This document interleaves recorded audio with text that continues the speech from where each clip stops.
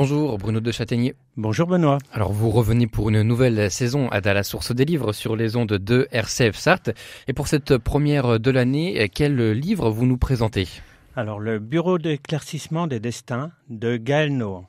Alors Gaël Nohan, euh, elle est née en 1973, c'est une écrivaine française qui, dès l'âge de 8 ans, elle dit « j'ai su que je deviendrais écrivaine ». Après des études de lettres, elle devient enseignante et aujourd'hui, elle vit son métier d'écrivaine. Elle lutte aussi pour la protection des droits d'auteur pour que euh, chaque personne qui, qui écrit puisse en vivre. Le livre qui la fera vraiment percer est La part des flammes en 2015, 160 000 exemplaires vendus. Et puis euh, son troisième roman aussi, La, légende d'un dormeur éveillé, qui est une euh, évocation de la vie de l'écrivain Robert Desnos. Et puis en 2020, elle a publié aussi La femme révélée. Voilà. Aujourd'hui, je vais vous présenter le Bureau des éclaircissements des destins qui va recevoir au Salon du Livre le prix de la 25e heure du livre. Ce livre est un vrai roman historique basé sur des, faits réels. Peu connu du, du public, l'International Tracing Service, situé à Bad Arolsen dans la Hesse en Allemagne, est un grand centre d'archivage sur les persécutions nazies. En 1990, Irène, expatriée française, fraîchement divorcée d'un Allemand, y trouve un emploi au hasard d'une annonce. À l'automne 2016, cette jeune femme, passionnée par ses dossiers de la section d'éclaircissement des destins, se voit confier une mission délicate restituer aux héritiers les objets des déportés après la libération des camps.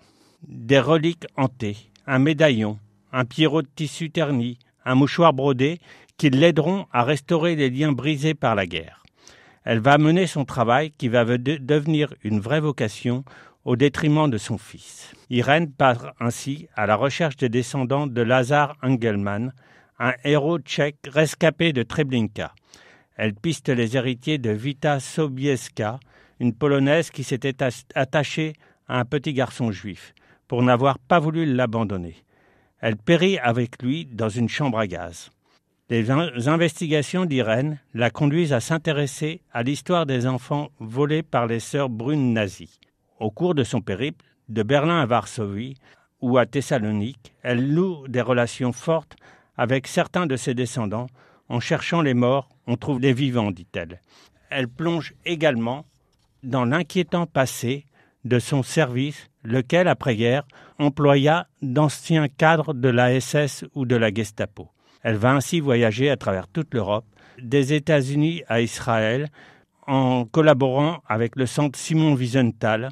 Voilà. C'est un superbe roman pour tous les amateurs de romans historiques où Gaël Nohan a fait des recherches énormes. Un livre que j'ai vraiment eu plaisir à lire, même s'il y a parfois quelques longueurs. Le Bureau d'éclaircissement des destins de Gaël Nohan aux éditions Grasset au prix de 23 euros est disponible à Siloé, bien sûr. Bien sûr. Gaëlle Nohan sera présente sur notre stand à la 25e heure des livres. Eh bien, merci beaucoup, Bruno. À la semaine prochaine. Merci, Benoît.